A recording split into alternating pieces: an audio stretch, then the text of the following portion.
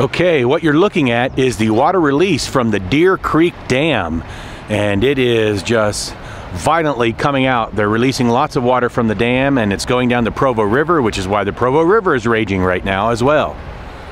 Never seen it like this.